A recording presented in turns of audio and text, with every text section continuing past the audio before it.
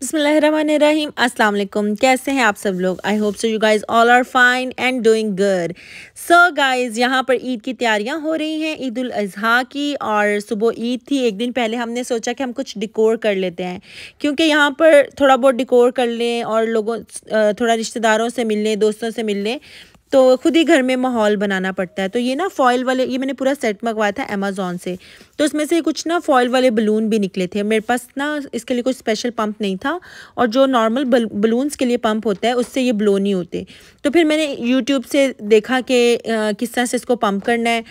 तो फिर वो यही तरीका पता चला कि वो जो इसका होल है, उसके अंदर स्ट्रॉ डालें और उसको थोड़ा सा टिक करके ना वो आगे को जाएगा थोड़ा सा। और फिर उसके बाद ये कि आप उसको ब्लो कर दें।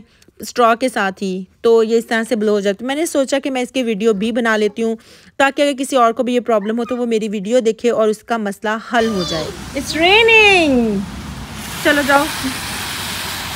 नहा लो रेनिंग इतनी ज़्यादा तो नहीं हो रही? हम्म, ज़्यादा होनी चाहिए। तो यहाँ पर हो रही है चाँद रात को तैयारियाँ, क्योंकि अगले दिन थी ईद और यहाँ मैं बना रही हूँ तंदूरी चिकन। तो सारा चिकन क्लीन करने के बाद उसके अंदर एक प्याली जो है, एक कप थिक चिकन की डालनी है और उसके अंदर चिकन तंदूरी मसाला और नमक, मिर्च और थोड़ी सी सुर्ख मिर्च डाल के उसको अच्छी तरह से मिक्स कर लें ग्लव्स पहन के। बहुत अच्छी तरह से उसको ग्लव उसको मिक्स करना है चिकन को।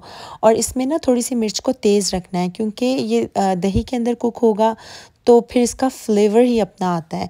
और यहाँ पर दूसरी साइड पे मैं चिकन अचार बना रही हूँ, इसके अंदर लहसुन, अदरक और अचार गोश्त का मसाला और हरी मिर्चें, दही के अंदर सारा कुछ मिक्स करके तो इसको और इसके अंदर एक टिन टमाटर का भी मैंने डाला था टोमेटो पेस्ट इसमें प्याज बिल्कुल भी नहीं जाते और इसको ऐसे चूल्हे पर रखते तो ये अपने ही उसमें कुक हो के पानी, बहुत ईजी रेसिपी और बहुत जल्दी बनने वाली रेसिपी है।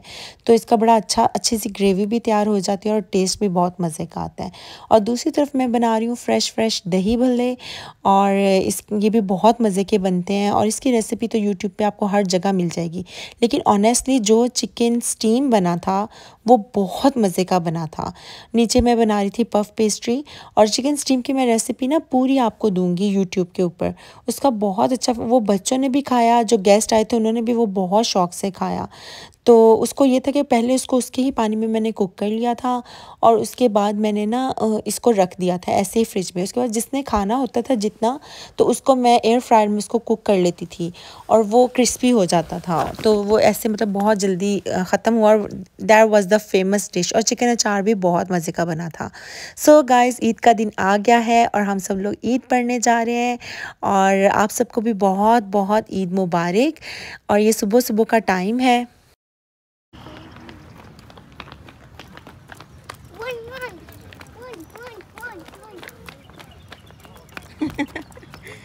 Harim, give me the bag.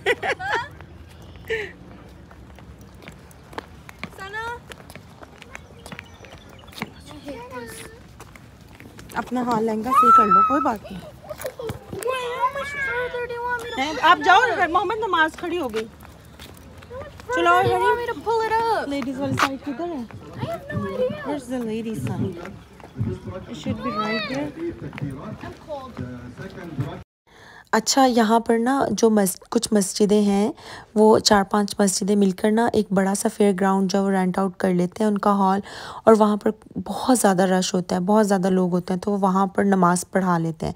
लेकिन हम लोगों ने यहाँ पर एक कम्युनिटी की मस्जिद थी, पाकिस्तान की ना, पाकिस्तानी मस्जिद थी और वो गाइस कम्युनिटी में तो वहाँ पर हम लोगों ने ईद की नमाज़ पढ़ी और यहाँ पर बहुत रश था, बहुत ज़्यादा मतलब हाउसफुल था और ये कि भाग दौड़ के नमाज़ पढ़ी क्योंकि हम लोगों से घर दूर है तो बहुत मतलब टाइम से पहुँचे पूरे ना तो ये भी शुक्र है कि नमाज़ मिल गई तो उसके बाद ये कि यहाँ पर ब्रेकफास्ट था एक तरफ़ चाय का स्टॉल लगा हुआ था एक तरफ़ फ्रेश कॉफ़ी ब्रू हो रही थी तो बच्चों के फेवरेट डोनट्स थे कुकीज़ थे और सारा कुछ था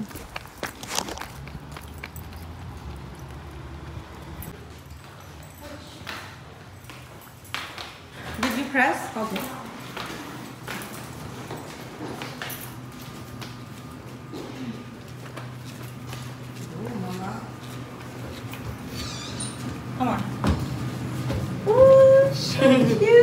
Thank you. Say hi, Mama. Hi.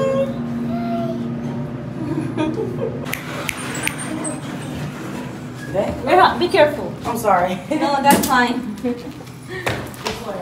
और ईद वाले दिन ही हमें हॉस्पिटल आना पड़ा क्लिनिक में क्योंकि हरीम के पाँव में थोड़ा सा प्रॉब्लम हो गया था, उसके पाँव के अंदर ना कोई चीज़ चली गई थी, कोई तिनका वगैरह। तो बस बच्चे आजकल के इतने ही नाजुक हैं, हमारे दौर में हमारे पाँव में चला जाता था तो हम खुद ही सुइयाँ वगैरह मार के जो है वो निकाल लेते थे। लेकिन आजकल के बच्चे जो हैं वो इतनी सी चीज़ के लिए भी इनको बस डॉक्टर ही चाहिए। तो थैंकफुली कि वहाँ पर जो है वो अपॉइंटमेंट मिल गई। एंड सब कुछ ठीक हो गया। और फिर उसके बाद जी हमारी फ्रेंड की तरफ़ था लंच जो कि पॉटलक था और हम सबने मज़े मज़े की डिशेस बनाई थी। इसमें चिकन अचार था, बिरयानी थी मटन शेंग थे और इसके अलावा कोफ्ते थे, कीमा था, पूड़ी थी और बहुत मज़े मज़े की स्वीट डिशेस भी थी। तो मैंने बस इतनी सी ही वीडियो बनाई, लेकिन ओवरऑल बहुत मज़ा आया। बच्चों ने बहुत इंजॉय किया। फ्रेंड ने बहुत अच्छी होस्टिंग की और बच्चों ने वहाँ पर बहुत ज़्यादा खेला। फ़न किया। ओवरऑल ईद का दिन बहुत अच्छा गुजरा।